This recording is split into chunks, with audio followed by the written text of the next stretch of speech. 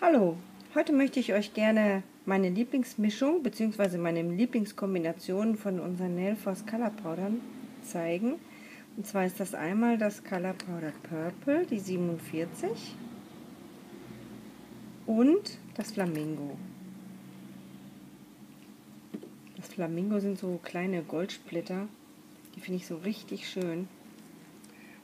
Und ich habe jetzt einfach mal einen Stift präpariert mit einer, ähm, mit einer Schablone. Und ich arbeite auf dem Nagel jetzt erstmal ein Cover mit Acryl. Da das ja jetzt hier kein richtiger Nagel ist, werde ich gleich ähm, das Cover ein bisschen mehr ausdehnen. Normalerweise würde ich einen Farbverlauf machen mit dem Cover nach oben mit Pink aber hier auf dem, ähm, auf dem Stift würde das doof aussehen. Deswegen arbeite ich direkt komplett das ganze Nagelbett mit dem Cover, weil es einfach schöner aussieht. Das Praktische daran ist, wenn man an einem Stift arbeitet, man kann sich hinterher den Nagel aufbewahren und einen Ring daraus machen. Also das habe ich schon ziemlich oft gemacht, wenn ich ein Design ausprobieren wollte. Dann habe ich auf einer Schablone, auf einem Stift, das Design ausprobiert, ob es auch wirklich gut aussieht, weil ich stelle mir oft Designs vor und dann möchte ich gerne wissen, ob die auch wirklich gut aussehen. Und bevor ich mir die ganze Arbeit mache, probiere ich das erstmal aus. Weil wenn ich längere Modellagen mache, dann möchte ich ja auch, dass mein Modell mit schönen Nägeln geht und ich mich nicht hinterher ärgere. Das ist eigentlich der Grund. Genau wie an einem echten Finger arbeite ich mit dem Acryl meine Mauer Den Pinsel habe ich gerade abgestreift, weil ich Produktreste am Pinsel hatte. Die dürfen nicht dranbleiben. Wenn dem so ist, würde der Pinsel verkleben. Und das ist überhaupt nicht gut. Da ich ja jetzt hier auch keinen rein, keinen echten Finger habe, trocknet das Ganze ein bisschen langsamer. Es ist nicht besonders warm hier drin. Deswegen muss ich immer wieder nachgehen. So. Jetzt habe ich die Zunge gelegt. So, und jetzt setze ich mein Purple. Ich mache bei den Prototypnägeln eigentlich immer schöne lange Modellagen. Wenn ich da einen Ring hinterher rausmache, dann sieht das richtig gut aus. Also ich arbeite das dann auf einen, äh, mit Acryl klebe ich quasi den Nagel auf einen Ring Rohling.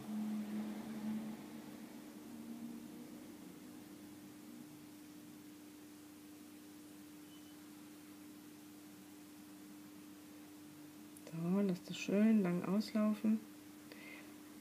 Ihr könnt unsere Color Powder sehr dünn verarbeiten, weil die so hoch pigmentiert sind.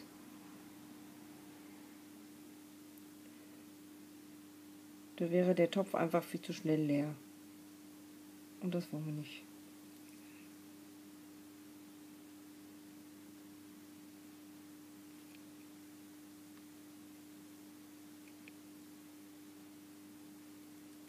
So, schön sauber.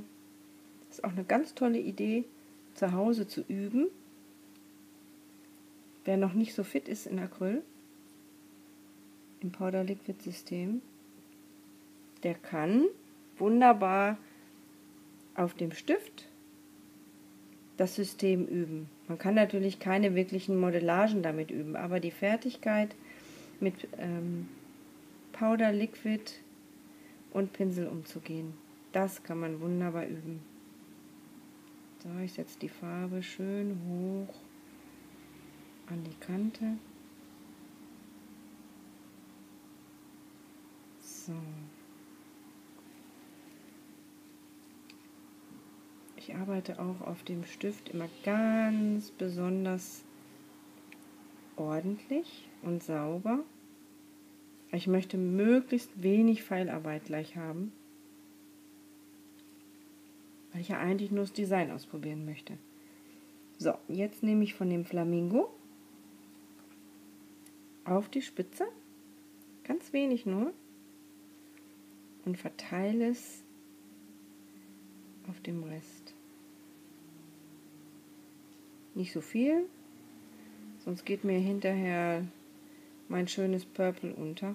Wenn ich zu viel habe, nehme ich einfach was weg. Ich möchte nur diese Kombination. Die ist so schön.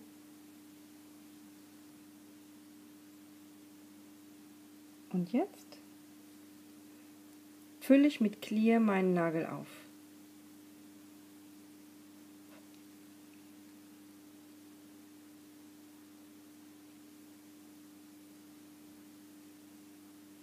Ganz in Ruhe. Erst die Kante vorne.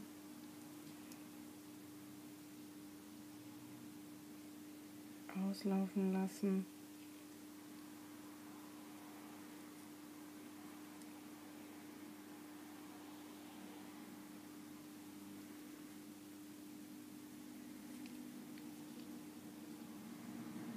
Nächste Clearbällchen. Bei kurzen Nägeln brauche ich natürlich nicht so viel Clear.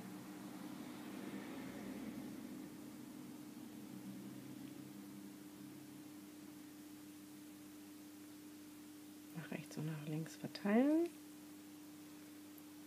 Und an die Smileline andocken und nur ausfüllen. Na, das Nagelbett habe ich ja schon mit dem Cover gearbeitet.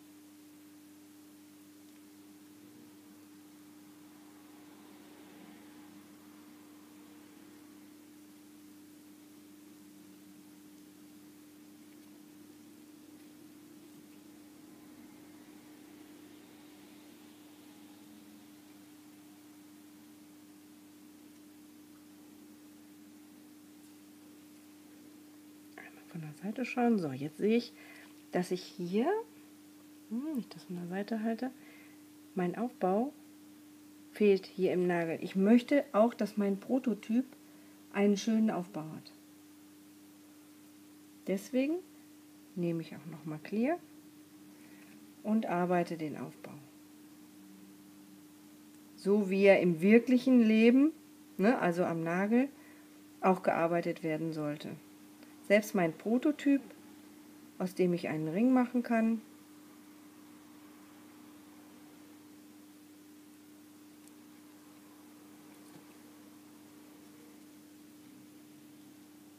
sollte ich ordentlich arbeiten. Ja, ich sehe gerade, hier ist noch ein kleines Loch. Das fülle ich auch noch auf.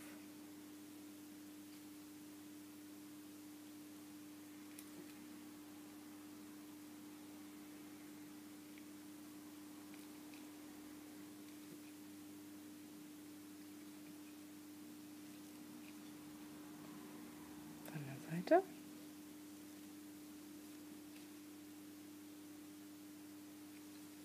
So, ich kann sogar diesen Nagel pinchen. Das mache ich eigentlich immer. Ich warte, bis das Material so gut getrocknet ist. Dann nehme ich mit einem Spatel den Nagel gleich runter von der Schablone und pinsche mit der Zange den Nagel in die gewünschte Form. Und den kann ich, also wenn ich einen schönen Prototyp für einen Ring haben möchte, dann kann ich den sehr stark zusammenpinschen, dann bekommt er hinterher auf dem Ring eine richtig schöne Form. So, und jetzt warten wir erstmal, bis das getrocknet ist und im nächsten Video zeige ich euch, wie ich das Finish mache und wie ich das dann, ähm, wie ich den Nagel auf den Ring setze. Bis bald!